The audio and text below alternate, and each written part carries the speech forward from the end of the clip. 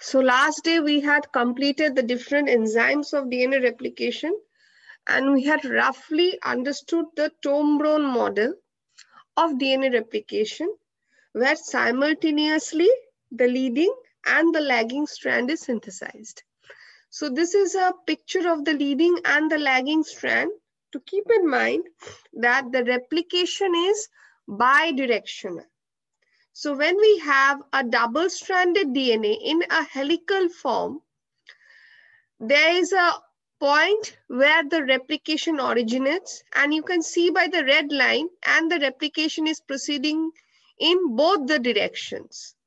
So if you look into the opening of this replication fork, the ash color strands are the mother strands and the red color strands are the daughter strands. Now let us look into this particular picture.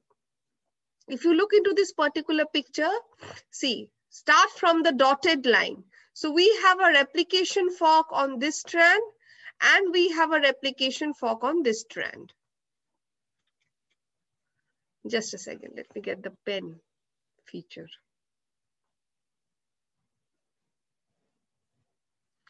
So as you can see, the direction of the replication fork in this strand is this side and the direction of the replication fork in this strand is this side. Now see, the blue is the mother strand and the pink one is the daughter strand. So if this is the 5 prime end, then this is the 3 prime end of the mother. Keep that in mind. If this is the 3 prime end, then this is the 5 prime end of the mother. Okay. So as I had said, that the mRNA sits with, it, with its 5 prime head opposite the 3 prime end. So if this is the 5 prime end, then the mRNA will be sitting with its 5 prime end here, as you can see. So this is the small light green primer. And since the fork is moving in this direction, this strand is being synthesized continuously without any hindrance. So this is the leading strand. But as you can see, this is the 5 prime end of the DNA on the other side. Uh, as a result, the mRNA cannot sit with this 5 prime head on this side. So the mRNA is sitting here. And you can see this strand is being synthesized in a discontinuous pattern. If we look into the other half, if this is the 5 prime end of the mother, then again this is the, if this is the five prime end of the mother, then this is the three prime end of the mother. And if this is the three prime end of the mother, no, we are uh, doing it something wrong. If this is the three prime end of the mother, then this should also be the, this should be the five prime end of the mother in this uh, uh, orientation is somewhat bit has changed. Just a second. Ma'am lagging stand of ভুল uh, yes it's okay the picture is showing something wrong. Let's look in this one. 5 prime. So we have a 3 prime end of the mother. So the mRNA is sitting here with its 5 prime end and as you can see it is continuing leading strand and if this, this is the 5 prime, 3 prime end, then this will be the 5 prime end. Similarly, if this is the 5 prime end, then this will be the 3 prime end. The orientation is a bit wrong. It, uh, yes, ma'am. Orientation is wrong. Just keep in mind that at the 3 prime end, the mRNA sits, the 5 prime end of the mRNA sits, and the leading strand is synthesized continuously. Here also we have a 3 prime end. No, this is correct. With the 5 prime end, the mRNA sits and as you can see, the leading strand is being synthesized continuously. So keep that in mind. So this particular picture very clearly emphasizes on the fact that the double-stranded DNA is opened up at one particular point and the replication fork proceeds in both directions. In this case, this is the 3' end. The mRNA primer is sitting here and the 3' end of the mRNA is this side. This is the 3' end of the mRNA. This is the 5 prime end of the mRNA. So the, since the 3 prime end is facing the replication fork, this is the leading strand. You have to keep in mind which side of the mRNA is facing the uh, replication fork. Again, if we see, this is the mRNA, and in this mRNA, this is the 5 prime end, and this is the 3 prime end. And if this is the mother's 5 prime, then this will be the mother's 3 prime. So on the 3 prime end, the 5 prime primer is sitting, and the 3 prime is facing this side of the replication fork. In this case of the primer, this is the 5 prime, and this is the free 3 prime. And you can see in this case, the 3 prime end is facing this side. So that uh, 3 prime end, which is facing the replication fork, will become the leading strand. In both cases, this 3 prime end is facing the replication fork. And in this case also, the 3 prime end of the primer is facing the replication fork. So that 3 prime end, which is facing the replication fork, will become the leading strand. And from this picture, it is evident that replication, once it starts from the point of origin, proceeds in both directions. So the replication is bidirectional. And since we have a definite polarity, DNA can only be increased in the 3' prime end. Hence, the concept of leading and lagging strand has arisen as I discussed the earlier day. Now, we had discussed all the enzymes earlier. We talked about the helicases. I'll just go over them briefly. We talked about the single strand binding proteins, the primases, the sliding clamp, the clamp loader, relaxation of supercoils, that is topoisomerase. We talked about the polymerase and we talked about POL1 also. So these are the sets of enzymes we get in prokaryotes. As you can see, these are the prokaryotic system. We will restrict ourselves to prokaryotes only because eukaryote is not a part of your syllabus. So we'll restrict ourselves to prokaryote itself. And this, uh, I'll come to this picture later on. Let me go to the next part. We went, we did the different enzymes. So this is polymerase. As I told earlier, the polymerase cannot initiate DNA synthesis in a duplex or on a duplex DNA or on a single stranded DNA. So it needs a primer. The primer provides the three prime end and the template provides the bases which are to be copied. And then only polymerase can polymerize, initiate polymerization. Uh, so as I was saying, so as you can see, so only when we have a RNA primer, the DNA polymerase can proceed with the three prime end of the RNA prime. Then we had studied about the single stranded proteins, the SSB proteins the other day, uh, and we had studied about the helicases. So as you can see, this is uh, the structure of the helicase.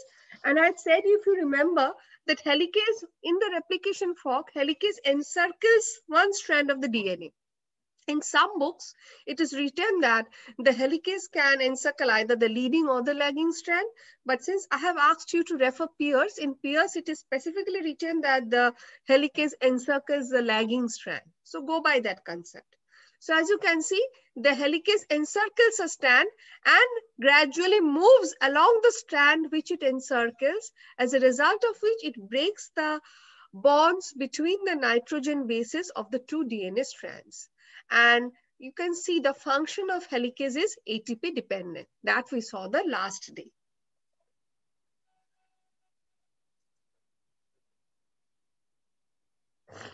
Next, as you can see, so this is another picture of helicase. The helicase is moving. Now, since the helicase is moving, this is a picture of a gyrase. Now, as the replication fork is opening, so the more the replication fork is opening, what happens? The DNA in front of the replication fork tends to twist more. So as a result of which the supercoils on the DNA needs to be relaxed. And this function is done by DNA topoisomerase or gyrase. So gyrase is helping in relaxing of the coils of the DNA. And these are the single-stranded binding proteins. We studied the other day that the single-stranding binding proteins, uh, once the DNA is opened up at the replication fork, the single-strand binding proteins bind to the fork and they exhibit the property of cooperativity where binding of one SSB to the ssDNA facilitates further binding of the single-stranded proteins. So as you can see, the binding, uh, uh, the single-stranded binding proteins have been bound here. I'm not getting into the details of this picture. This is a more complex one. Just keep in mind that the single-stranded binding proteins just surround the single-stranded DNA as they are opened up during the replication fork. And this is a, a picture of how the ligase functions. So if you remember that ligase seals the gap or the difference between one nucleotide. So this is, they have just showed it for pictorial purpose. They've increased the gap here. So you can see this is the three prime end. The three prime end is providing the OH and this is the five prime end of the newly synthesized daughter. And this is a single nucleotide gap present. So this is the SS uh, gap and this gap is being filled by DNA ligase. So this is how DNA ligase functions. Uh, we have gone through this picture and now let me show you this picture. Look into this picture. See what happens if you remember that this is the leading strand and this is the lagging strand. This is the previous Okazaki. So if the replication fork is sitting here, if you remember how the trombone uh, model of replication was going, that the newest Okazaki fragment is synthesized last, and this is the older Okazaki fragment. And this is the primer in front of the older Okazaki fragment, green color. This is the primer in front of the newer Okazaki fragment, which is also against green color. Now, if you remember that the primers were removed by RNase H. So what happens? So RNase H removes the primer. So while removing the primer, what does the RNase H do? Point to be noted. RNase H removes the primer between the consecutive two Okazaki fragments. So this is the newly synthesized Okazaki fragment and this is the older fragment. On, in, on preceding the older fragment is the RNA primer. So when the RNase H comes, the RNase H removes this primer. It doesn't remove this one immediately. It removes this primer. Don't have the idea that all the primers of Okazaki are removed together. No, they're removed one after another. So it removes this primer. So there is a gap in the DNA. And this is my new Okazaki that is formed. Look at the direction of the new Okazaki. The direction of the new Okazaki if I look into the DNA, this is the 5 prime, this is the 3 prime end of the Okazaki. Now polymerase 1 is coming and it is extending this 3 prime end. You can see. So this is the 3 prime end. The polymerase will sit and will extend the 3 prime end of the newly formed Okazaki and go on extending it until one nucleotide gap is formed, found. Once we get that one nucleotide gap, as we saw, DNase ligase will come and seal the nick. So keep in mind that the Okazaki fragments, the primers from the Okazaki fragments are not removed together. If you look into the animation of trombone model, it is a simultaneous process. So for removing the uh, RNA primer, we need to have a new of the old uh, to remove the RNA primer of the old Okazaki, we need to have the new Okazaki fragment. Because as I said, once the primer is removed, we need to extend, fill the gap. And polymerase can identify the three prime end of the new Okazaki fragment and extend it to the old one, keeping a one nucleotide gap. And then the DNA ligase, ligase seals the gap. Ma'am, Oh, you have somebody has a question. So finally, we're coming to the replicon model or the replication initiation concept. This particular concept was proposed in 1963 by Francis Jacob, Sidney Brenner, and Jacques Cuzin to explain that how the events controlling the initiation of replication occurs. What you studied uh, the earlier day, the trombone model, was how the replication is proceeding at the replication fork when both leading and lagging strand are being synthesized simultaneously. But the question prior to that is, how does the DNA at all opens up and how are the enzymes one after another assembled at the replication fork? So when they started experimenting on this part, they finally come to a concept that the assemblage of proteins or the different enzymes at the replication fork follows a definite pattern in case of prokaryotes. The model they proposed, they call this model as the replicon model and the replicon model had two basic components the replicator and the initiator. The replicator is a segment of cis-acting DNA sequences. I'll come to what do we mean by cis-acting. So the replicator is a segment of cis-acting DNA sequence which helps in direction of initiation Secondly, the initiator. The initiator are protein molecules that recognizes the DNA sequences in the replicator and activates the initiation of replication.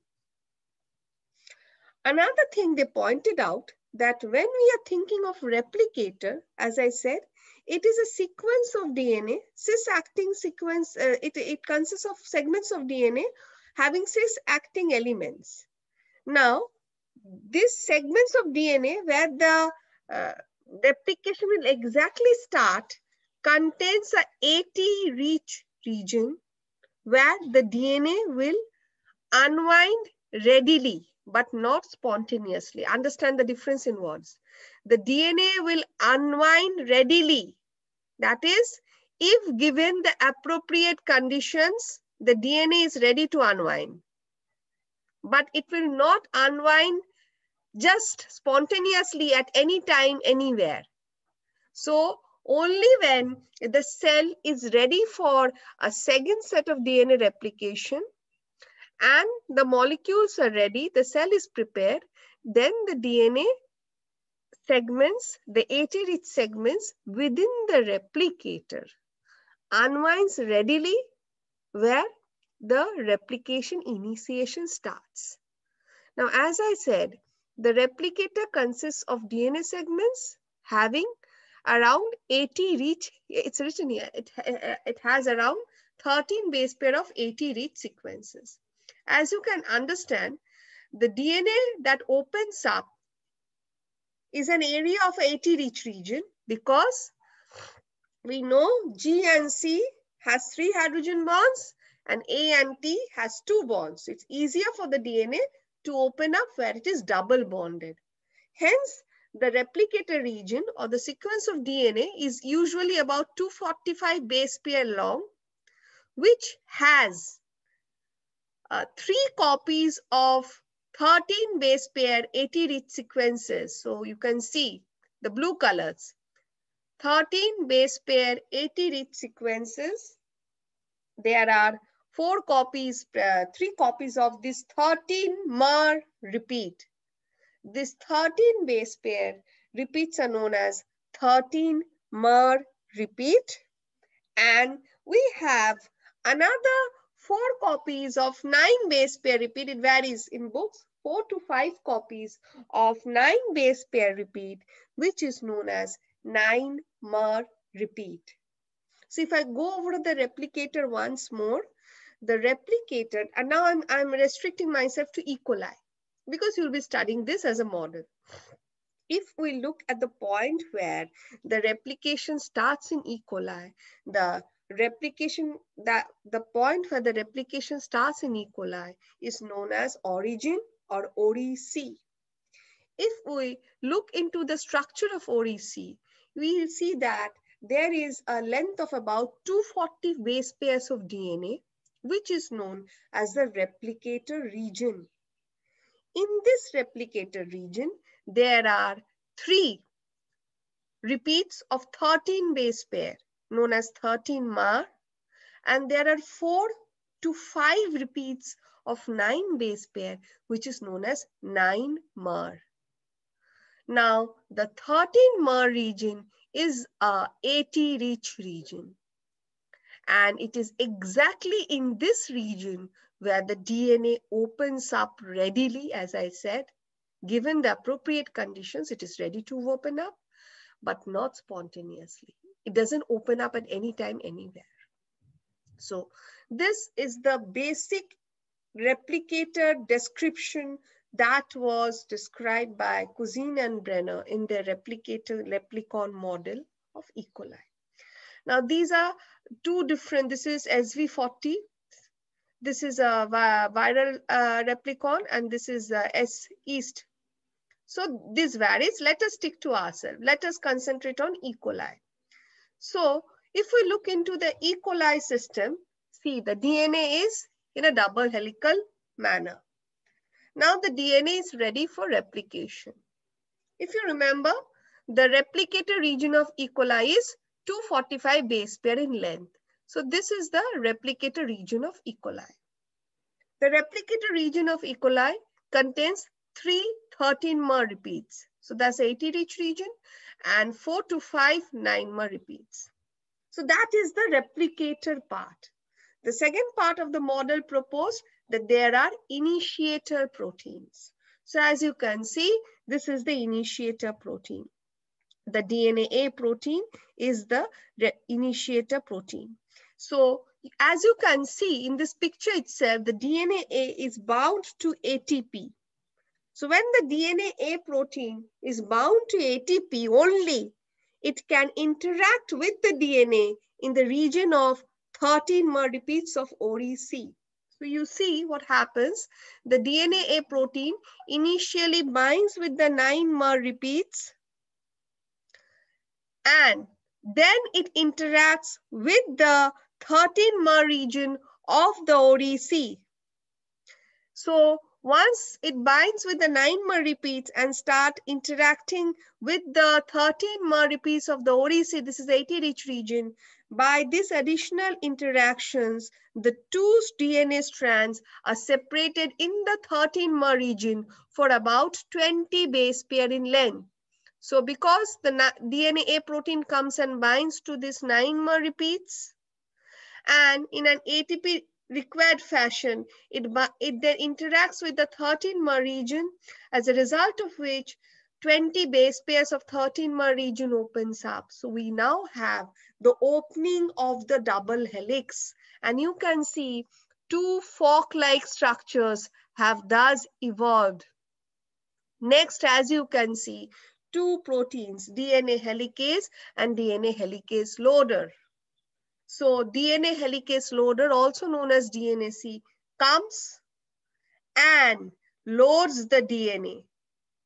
You can see it has loaded the DNA on the two strands. As you can see, as I told this is a bidirectional replication. So uh, for one fork, uh, for one strand, the DNA will move in this, uh, for helicase will move in this direction.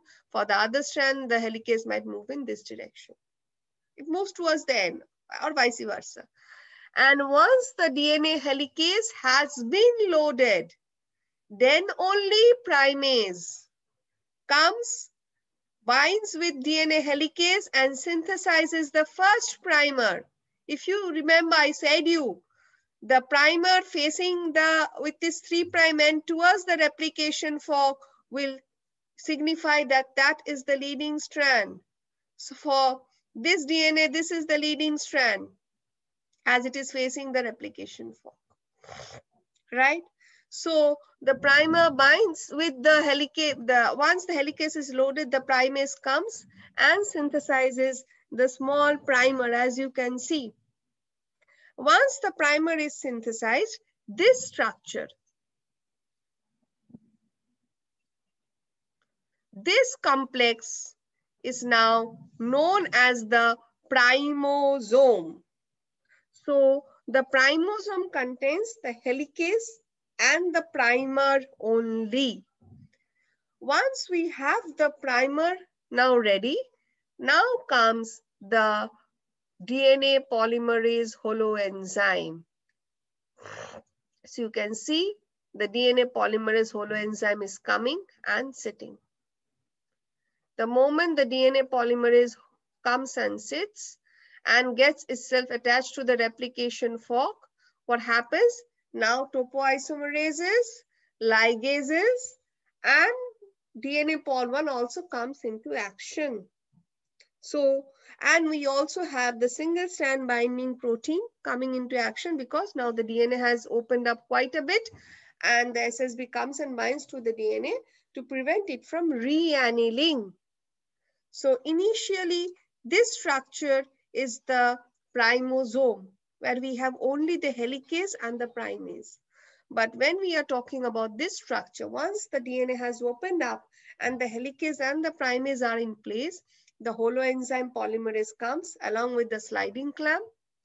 The SSB single strand binding protein comes. We need the DNA ligase, we need the DNA pol 1 and we need the RNase H. So the complex of all these proteins together, now working together around the replication fork is known as replisome. So initially, again, repeat once more, the DNA A protein binds to the 9 mer in ATP dependent manner. They interact with the 13 mer. The 13 mer opens up readily in presence of, uh, in, with interaction with the DNA A protein. Helicase comes, helicase loader comes, helicase loader loads the helicase. Once the helicase has been loaded, the primase comes, the primase synthesizes the primer. We get the replisome complex at the replication fork. Now the whole of the DNA polymerase holoenzyme comes and sits along with the primase. Along with the holoenzyme comes the single strand binding protein, the topoisomerases, then the mm, DNA ligase, RNase H, DNA pol 1. So the total enzyme machinery now working around the replication fork is known as replisome. So this is how the DNA synthesis starts. And finally, it is converted to the typical structure of a trombone model. And then, as we discussed the last day, that the DNA synthesis is completed.